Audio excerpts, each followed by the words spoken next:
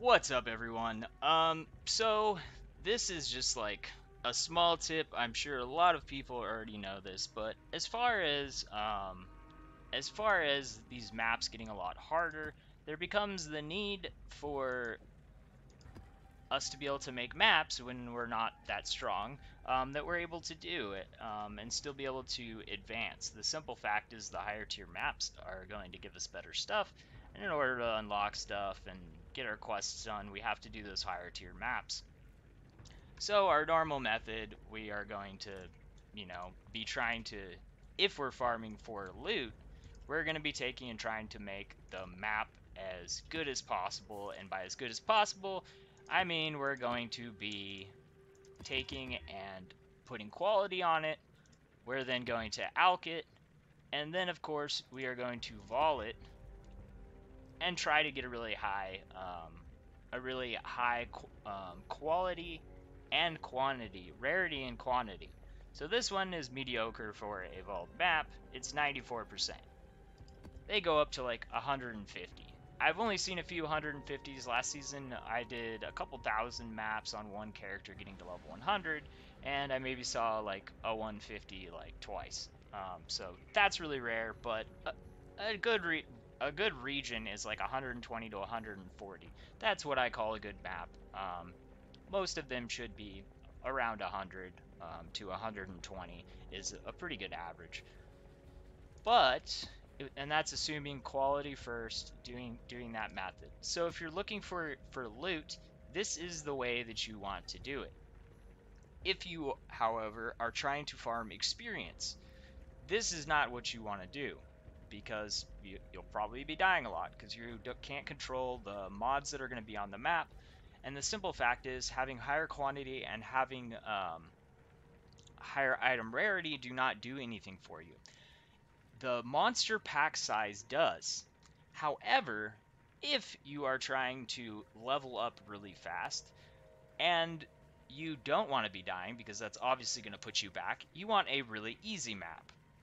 How can we do that and how can we still get a lot of experience? So what we're going to do is first we're going to craft a really easy map. We're not going to use chisels on this. You can use chisels, but it would kind of be a waste it would add some um, pack size to it, um, some rarity, some quantity, but you're really investing chisels into something that you're not going to be getting the maximum benefit out of, so I wouldn't recommend that. What you're going to do is you're going to use alteration orbs until you find mods that are not dangerous, like they gain an endurance charge. That's not bad.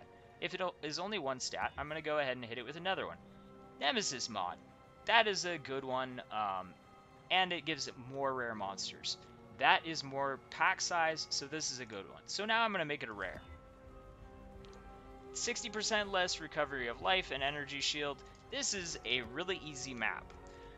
We only have a six, plus 16% um, pack size, so you could just run it like this. However, instead of using chisels, since we want pack size, what we can go for is we can go for the cheap sextants. The cheap sextants are mostly going to roll extra monsters. So let's see, what do we get?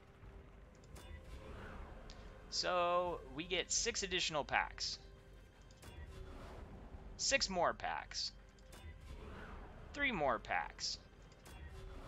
Six more packs. That is 21 more packs for three maps. That is a lot more quantity than um, chiseling and uh, taking and buffing up this map. As as you can see, this one's you know 16% size. This one is 28% size. Um, so yeah, it's only a 12% increase. Obviously, 21 packs is going to be more. If I was farming currency, I would still be adding um, mods, but on those mods, I'm going to be going for you know, stuff that's going to be giving me loot, I'm going to be using higher tier sextants, which I will cover all the best combinations for those for this season in another video. This is kind of giving you your two your two choices of methods. If you want experience, you can make high tier maps so you're getting better experience. You can add more quantity through cheap sextants. And then you're not investing that much into the map. You're still gonna get you're still gonna get pretty good drops. Um, that's pretty much all the information, but I will go ahead and run a map. Let's see if we. Um, well, I need. Actually, I'll just. I will run this one. Oh, hey. Oh, it's got to be corrupted. All right. Well, I can't.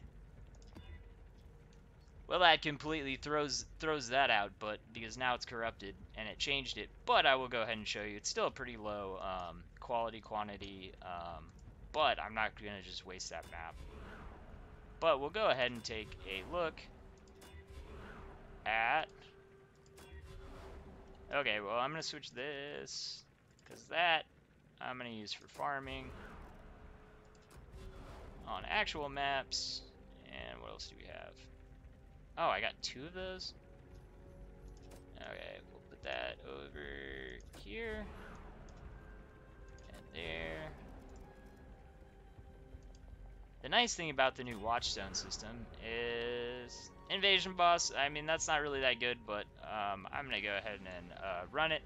Um, like I said, I don't really have that much more information. That pretty much teaches you how to craft easy maps. The one other thing is, is say you got a mod on the map that is really bad for you, like say it's like Reflect or something like that, then you would just scour and you would start over. The thing is, the Regal only adds one one stat, um, so you have pretty big control over what's actually going to be on the map. This is still only a four, um, a four mod map. So, oh wait, did that change? Oh, all right, never mind. I was like, I was like, no. That would have sucked. Because I think that's my only one of that map.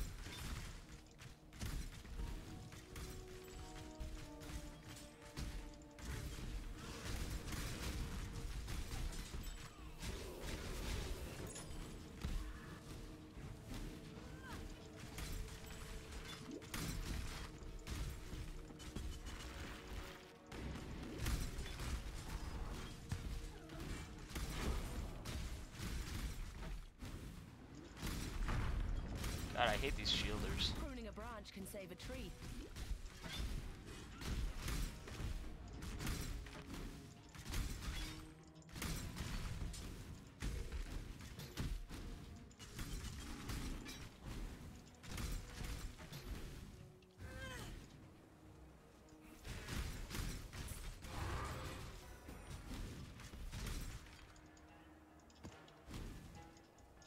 What boss are you?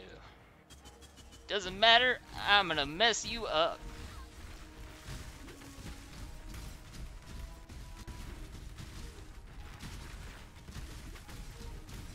Get next to each other.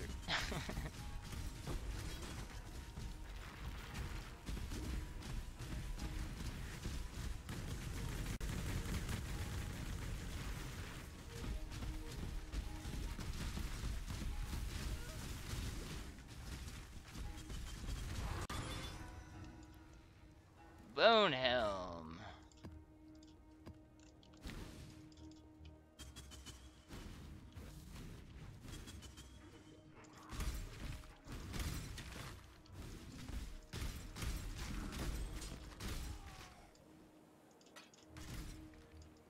The other thing that I'd like to also say is some maps are just inherently way harder than others. I am compiling a list that I will be going over of the best maps in the game for loot and for um, ease of ease of the map. Essentially, the most beneficial maps to be playing. Because there are some maps that just suck.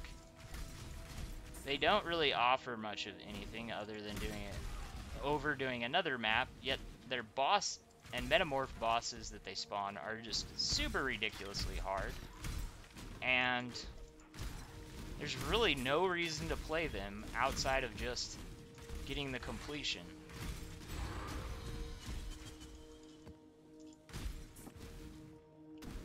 Just give him a little tappity tap, finish him off. God, you shields your shields are so stupid. Alright, well, yeah, there's a little center section.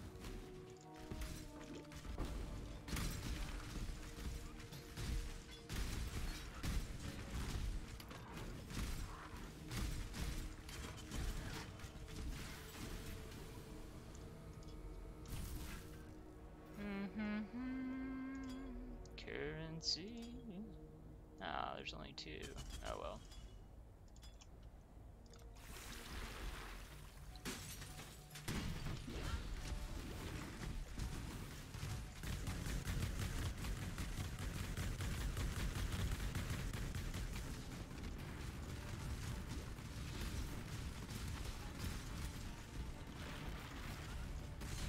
Where you going, buddy?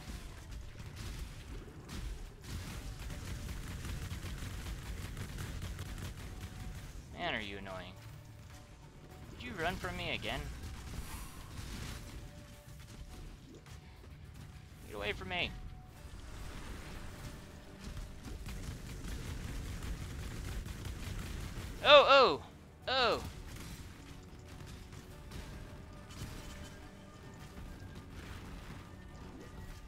What the heck? It's like glitching.